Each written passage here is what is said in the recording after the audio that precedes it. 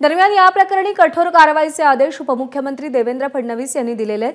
या प्रकरणातल्या आरोपीला जामीन मिळाला असला तरी त्याविरुद्ध अपील दाखल करण्याच्या सूचनाही दिल्या आहेत. तसंच या प्रकरणात आरोपीला विशेष ट्रीटमेंट दिली जात असल्यास त्यावेळेचे पोलीस ठाण्यातील सीसीटीव्ही तपासून संबंधितांवर थेट निलंबनाची कारवाई करण्याच्याही सूचना फडणवीसांनी दिल्या आहेत.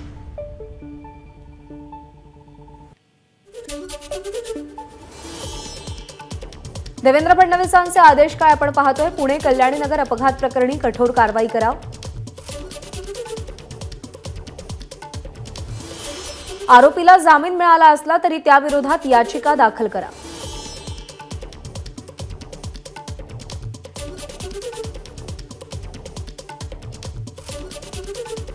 आरोपीला विशेष ट्रीटमेंट दिली जात असल्यास त्यावेळेच्या पोलीस ठाण्यातील पोलिसांवर निलंबनाची कारवाई करा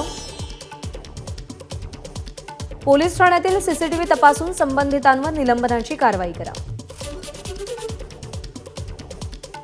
गृहमंत्री देवेंद्र फडणवीसांच्या आदेशानंतर पुणे पोलीस आयुक्त अमितेश कुमार यांनी अल्पवयीन कार चालकाला मिळालेल्या जामिनाविरोधात सत्र न्यायालयामध्ये याचिका दाखल करणार असल्याचं सांगितलेलं आहे.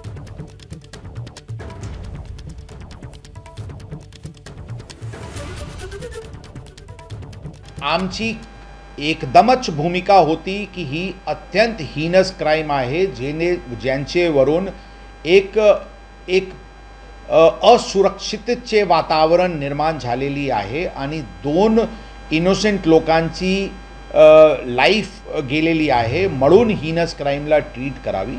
ती ॲप्लिकेशन आमची मान्य कोर्टाने नाही केलेली आहे. आज आम्ही त्याचे आदेशाविरुद्ध सेशन कोर्टला अपील फाईल करत आहे आणि सेशन कोर्टाला आमची आमची प्रयत्न राहील की त्यांना हिनस क्राईम असल्यामुळे त्यांना ॲडल्टसारखे ट्रीट करू द्या.